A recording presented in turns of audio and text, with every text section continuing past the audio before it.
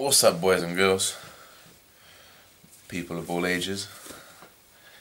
Just woke up, getting changed. Um, fasted morning cardio as always. Half an hour. Uh, and then I'm going to take you on a food shop, guys. I'm just gonna, it's only a, like a kind of top up thing, but I'm going to take you through like kind of the general foods that I normally get most days. Most days? Most weeks. So, go in the supermarket, show you guys what's up. Hopefully, get a few ideas of about how I eat every day. But it's pretty boring, so don't get your hopes up.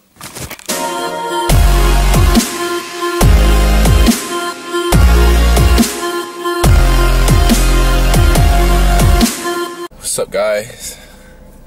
Fasted cardio is done. The best part of my day, every day, is when that cardio clock hits 30 minutes and I can get off. Uh, just gotta do what you gotta do. Um, I choose to do my cardio fasted. Uh, it's more of a mental thing than anything. I don't actually think there's any kind of real science behind getting up, training fasted, rather than uh, getting up, having a breakfast, and then training. Because essentially, you burn the same amount of calories and you still eat the same amount of calories during the day. Uh, but for me, it's just a mental game. Like I said, uh, this dieting game, like essentially, when you get this close to competition, it is just a mental game. Um, so I just start my days off well. I get up, I go through my cardio, get my heart rate up, you know, get everything moving in my body. And for me, you know, it releases those, those post-workout endorphins from the first thing in the morning. Starts my day right, and I start as I mean to go on. Uh, I'm gonna start jabbering on because I'm fucking hungry. To the shops and get some food. Guys, never go shopping when you're hungry because you're gonna end up like my basket's gonna end up and full to the brim, even though I can't eat any of it. Probably end up buying post competition treats right now because I'm so excited. Let's get it.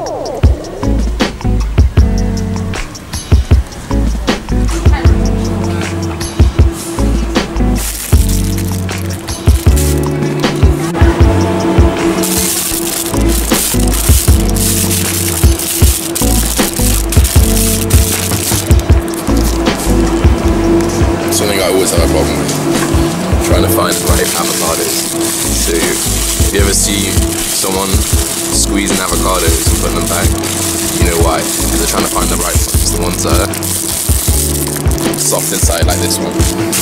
Don't you forget that. Don't you be hating on them avocado squeezers.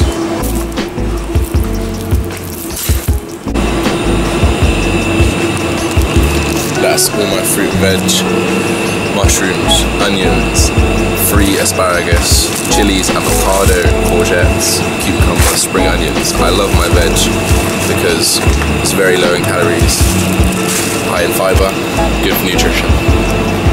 On to the meat.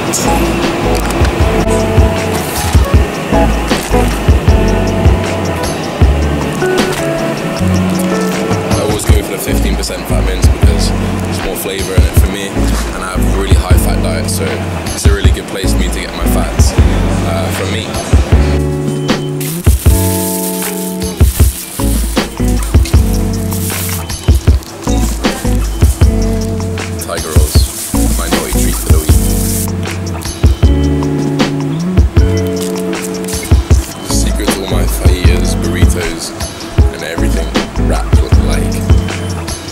107 calories per.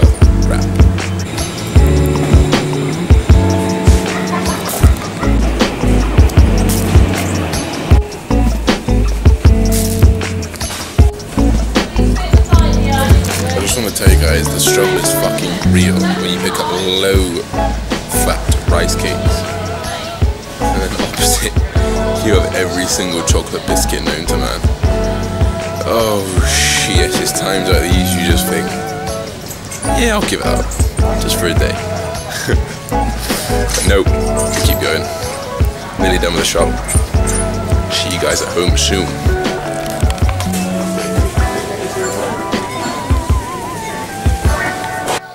Right guys, so this is everything that I bought.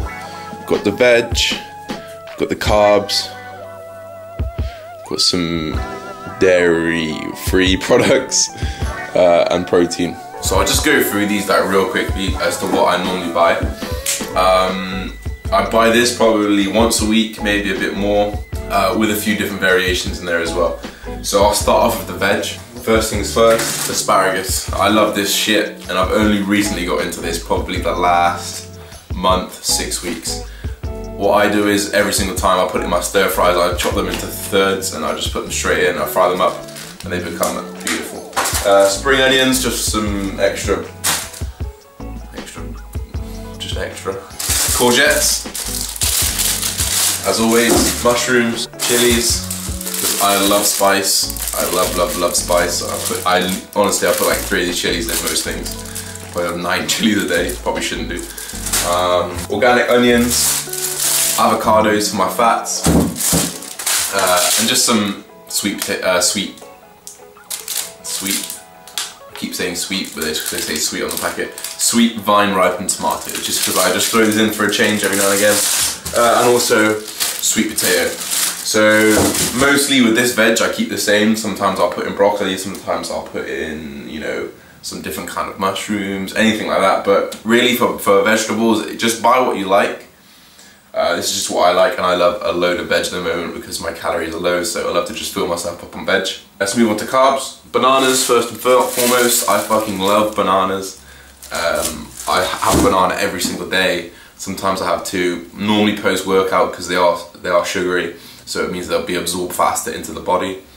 Uh, so when you finish your workout, your body's screaming for nutrients. The best thing you can have some simple sugars and a simple form of protein. So normally, what most people do is a banana and a, and a, and a whey protein shake. That's perfect in my ideal world, but right now my calories are too low, so I don't even have shakes at the moment. Uh, I have lightly salted Kallo rice cakes, the reason why I go for these ones specifically and not like Snack a Jacks or anything is because they're just lower in calorie again and it means I can eat more of it. Because right now like I, I, I, can't really deal with the low calories that, that well to be honest so. Normally with this I'll have two or three of these a day and I'll put uh, 20 to 30 grams of almond butter. Oh fuck I forgot almond butter. Oh fuck I forgot oats.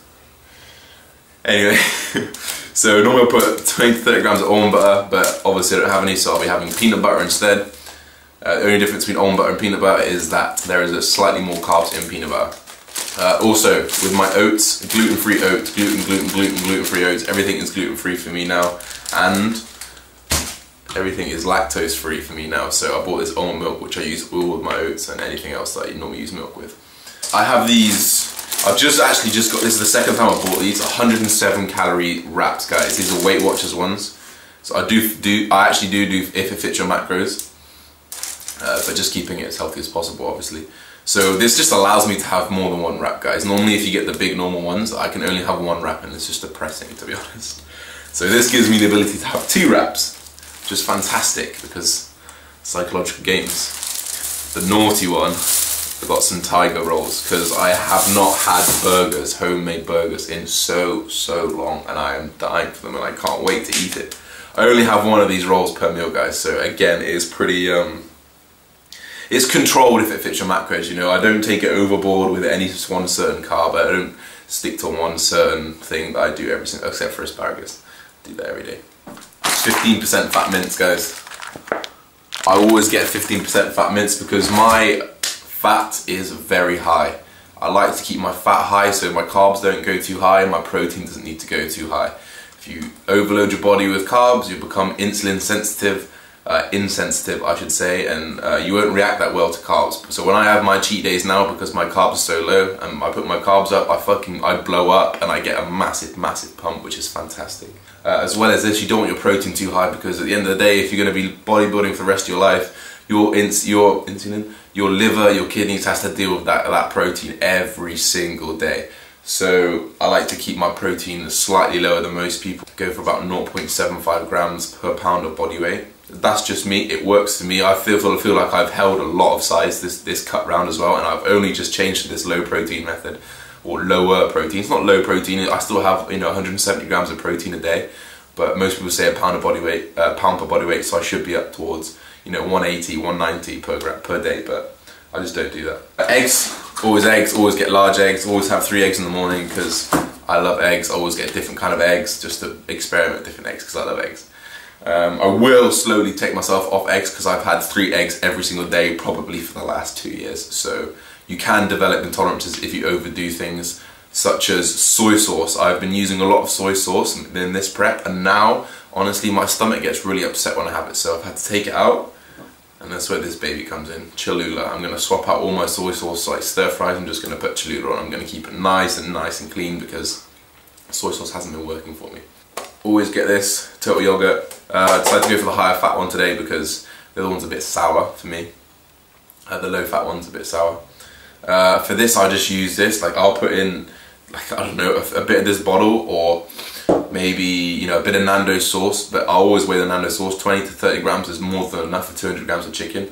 And I mix it in with 50 grams of this which is probably like 50 calories nothing much at all. You mix it in it gives like a paste. Oh tikka. Tikka and tandoori. If you mix tikka and tandoori with this shit it's fucking amazing. Trust me it is amazing.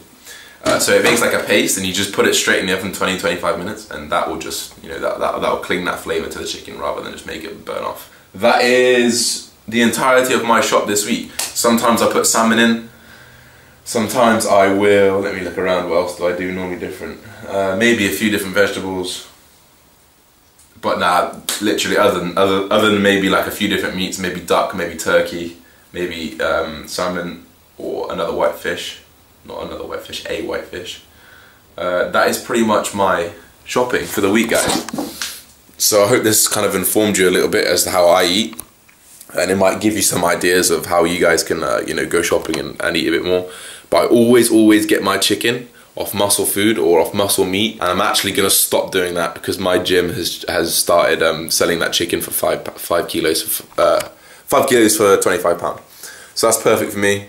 I'm gonna do that from now on. Rice, I always buy in bulk, so I've always got a big bag of rice up there. Oats, I generally buy in bulk, but I forgot today, as you know. Um, I think that's it. I hope you enjoyed this video.